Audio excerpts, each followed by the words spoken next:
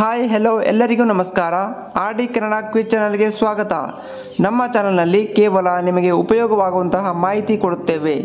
Video start ಮಾಡುವುದಕ್ಕೆ ಮುಂಚೆ ದಯವಿಟ್ಟು ನಮ್ಮ ವಿಡಿಯೋವನ್ನು ಲೈಕ್ ಮಾಡಿ ಹಾಗೂ ನಮ್ಮ ಚಾನಲನ್ನು ಸಬ್ಸ್ಕ್ರೈಬ್ ಮಾಡಿ. ಮೊದಲನೇ ಪ್ರಶ್ನೆ, ನಿಮ್ಮ ಶೂ ದುರ್ನಾತವನ್ನು ನಿವಾರಿಸುವುದಕ್ಕೆ ಏನನ್ನು ಬಳಸಬೇಕು? ಆಪ್ಷನ್ ಎ ಅಡುಗೆ ಸೋಡಾ ಬಿ ವಿನೇಗರ್ ಸಿ ಉಪ್ಪು, ಡಿ, ಬೇವಿನ ಎಲೆ.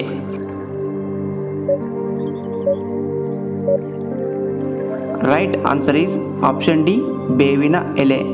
ಶೂಗಳನ್ನು ಬಳಸುವ ಮೊದಲು, ಅಂದರೆ ಮುಂಚಿನ ರಾತ್ರಿ ಒಣಗಿದ ಬೇವಿನ ಎಲೆಗಳನ್ನು ತೆಗೆದುಕೊಂಡು ನಿಮ್ಮ ಶೂ ನಡೆಯಲ್ಲಿ ಇಡಿ. ಬೆಳಿಗ್ಗೆ ಅದನ್ನು ತೆಗೆದುಹಾಕಿ ನಿಮ್ಮ ಶೂಗಳನ್ನು ಮೂಸಿ ನೋಡಿದರೆ ನಿಮಗೆ ಯಾವುದೇ ದುರ್ವಾಸನೆ ಬರುವುದಿಲ್ಲ. ಎರಡನೇ ಪ್ರಶ್ನೆ ಪುರುಷರೇ ಹೆಚ್ಚು ಜಿಮ್ ಮಾಡುವುದರಿಂದ ಈ ಸಮಸ್ಯೆ ನಿಮಗೆ ತಪ್ಪಿದ್ದಲ್ಲ. ಆಪ್ಷನ್ ಎ ಸ್ನಾಯು ಸೆಳೆತ. ಬಿ ಎದೆ ನೋವು. ಸಿ ಬಂಜೆತನ. ಡಿ ಆಯಾಸ.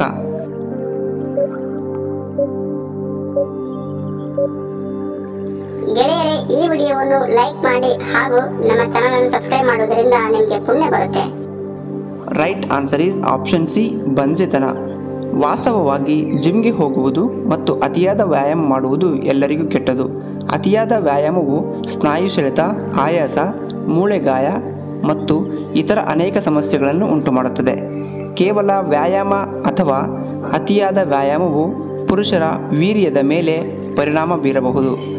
ವಾಸ್ತವವಾಗಿ ಜಿಮ್ ಮಾಡುವ ಪುರುಷರು ಹೆಚ್ಚಿನ ಪ್ರಮಾಣದಲ್ಲಿ ಸ್ಟಿರಾಯ್ಡ್ಗಳನ್ನು ಬಳಸಿದಾಗ ಅದು ಅವರ ವೀರ್ಯದ ಮೇಲೆ ನೇರ ಪರಿಣಾಮ ಬೀರುತ್ತದೆ. ಇದು ಬಂಜತನಕ್ಕೆ ಸಮಸ್ಯೆ ಆಗಬಹುದು. ಮೂರನೇ ಪ್ರಶ್ನೆ, ಜನರು ದಿನಕ್ಕೆ ಎಷ್ಟು ಬಾರಿ ಆಕಳಿಸುತ್ತಾರೆ?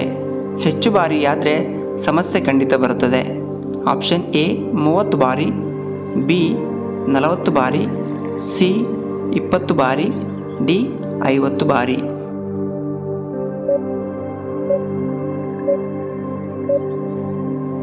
Right answer is option C, ಇಪ್ಪತ್ತು ಬಾರಿ.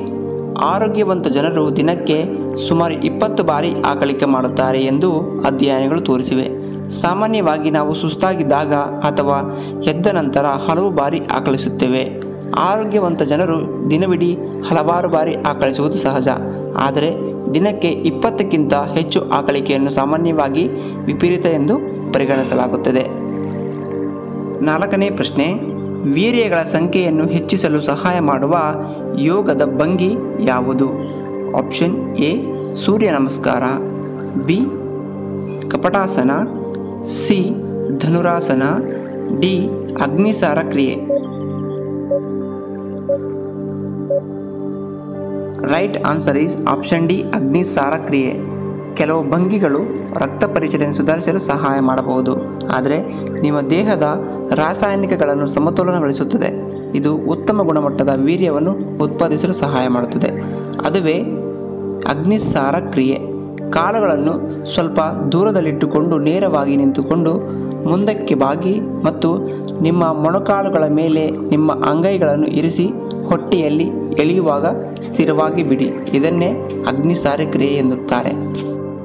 ಐದನೇ ಪ್ರಶ್ನೆ, ಯಾವ ಸಮಸ್ಯೆ ಇರುವವರು ಹೂಕೋಸನ್ನು ತಿನ್ನಬಾರದು. ಆಪ್ಷನ್ ಎ ಥೈರಾಯ್ಡ್ ಸಮಸ್ಯೆ. ಬಿ ಕಿಡ್ನಿ ಸ್ಟೋನ್ ಸಮಸ್ಯೆ. ಸಿ ಜೀರ್ಣಕ್ರಿಯೆ ಸಮಸ್ಯೆ.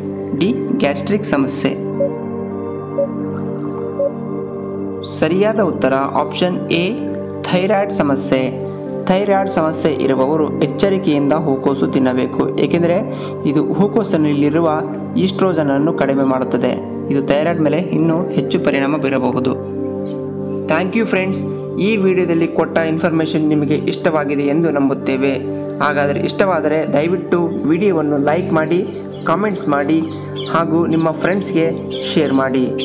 ಕೊನೆಯಲ್ಲಿ ನಮ್ಮ ಚಾನಲನ್ನು ಸಬ್ಸ್ಕ್ರೈಬ್ ಮಾಡಲು ಮರೆಯದಿರಿ. Thank you friends